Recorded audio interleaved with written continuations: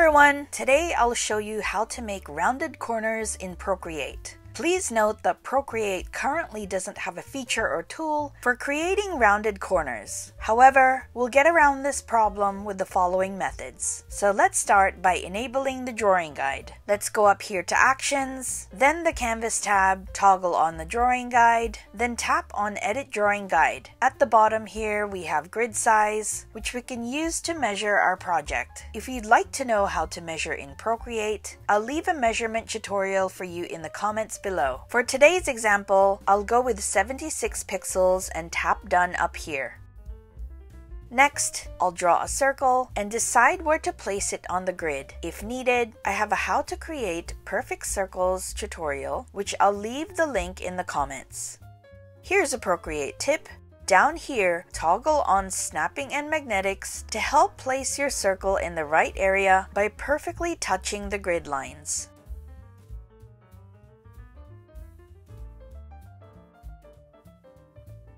So next, we'll make a copy of our circle in layers. We'll do this by swiping left on the circle layer and selecting duplicate. Then tap on the transfer tool and slide the copy to the right like so.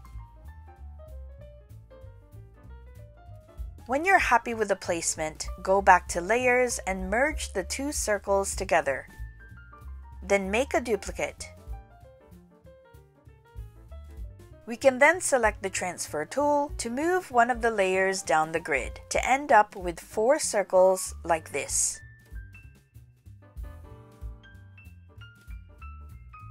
Next, create a new layer above all the circles, which we'll use to start drawing lines to connect all the shapes.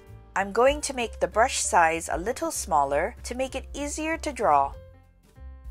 Drawing your lines will take some patience since you'll need to draw the lines perfectly between circles. If lines become wobbly or stick out, the shape at the end will appear untidy. So take your time when drawing your lines.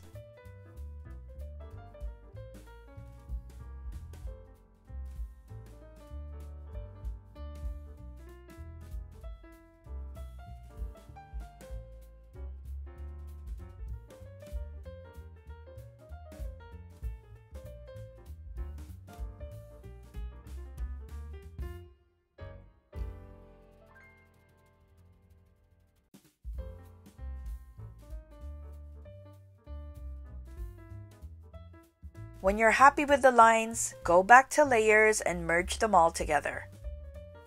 Then you can fill in your shape like so. But what if you needed a transparent shape instead? Well, I'll show you how. So I'll undo everything until I've separated all three layers. Then I'll tap on the circle layers and use the erase tool to erase part of the circle like this.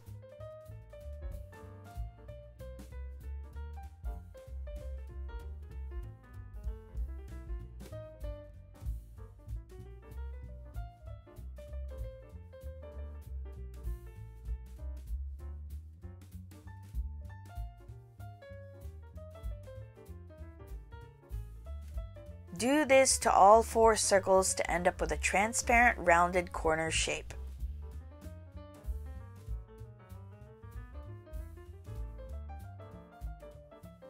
Don't forget to check out the useful links in the comments area, subscribe, and thanks for watching.